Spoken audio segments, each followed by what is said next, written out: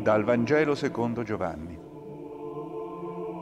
Il primo giorno della settimana, Maria di Magdala si recò al sepolcro di mattino, quando era ancora buio, e vide che la pietra era stata tolta dal sepolcro. Corse allora e andò da Simon Pietro e dall'altro discepolo, quello che Gesù amava, e disse loro, hanno portato via il Signore dal sepolcro e non sappiamo dove l'hanno posto. Pietro allora uscì insieme all'altro discepolo e si recarono al sepolcro. Correvano insieme tutti e due, ma l'altro discepolo corse più veloce di Pietro e giunse per primo al sepolcro. Si chinò, vide i teli posati là, ma non entrò. Giunse intanto anche Simon Pietro, che lo seguiva, ed entrò nel sepolcro e osservò i teli posati là e il sudario che era stato sul suo capo, non posato là con i teli, ma avvolto in un luogo a parte. Allora entrò anche l'altro discepolo, che era giunto per primo al sepolcro, e vide e credette. Infatti non avevano ancora compreso la scrittura, che cioè egli doveva risorgere dai morti. Parola del Signore.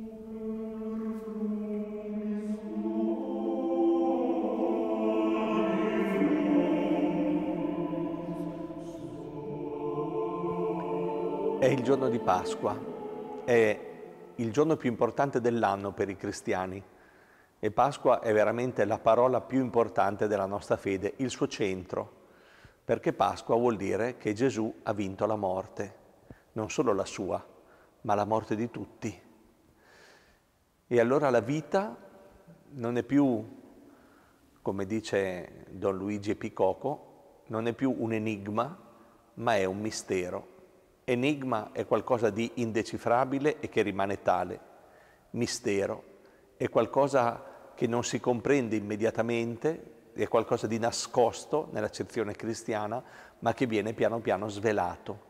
Ecco, la risurrezione di Cristo è la chiave che ci apre il mistero della vita e della morte, che ci fa guardare al di là. Quando si va a Gerusalemme e si entra nel Santo Sepolcro, sempre con una grande emozione evidentemente, ci sono due ambienti, la cosiddetta sala dell'angelo, una prima piccola stanzetta, e poi una ancora più piccola, la camera sepolcrale, in cui bisogna chinarsi perché la porta è veramente bassa. E sopra questa porticina, sempre aperta, questo piccolo arco, c'è la scritta in greco presa dal Vangelo, le parole dell'angelo alle donne, perché cercate tra i, tra i morti colui che è vivo. E ci chiediamo sempre con i pellegrini, cosa veniamo a vedere a Gerusalemme? Una tomba vuota, una tomba vuota, ma quando entri lì dentro senti di essere al centro del mondo, al centro della storia, perché lì, lì c'è il fatto che ha cambiato il senso della storia e della vita. Lì Gesù è risorto dai morti. Lì ci sono quei teli posati di cui ci parla il Vangelo di Giovanni, che, attraverso i quali il discepolo vede che sono, il corpo non è stato rubato perché i teli si sono afflosciati e il sudario è riposto con cura in un luogo a parte. Con quei segni l'Apostolo amato, che rappresenta ognuno di noi, ha visto e ha capito cos'era successo. Il Signore, quel corpo, non era stato rubato, non era scomparso, eh, annullato, ma era entrato in una dimensione nuova e diversa, la dimensione della vita eterna. Dice il Vangelo, avuto, ha avuto bisogno di vedere quella tomba e quei teli perché non avevano ancora compreso la scrittura che cioè egli doveva risorgere dai morti.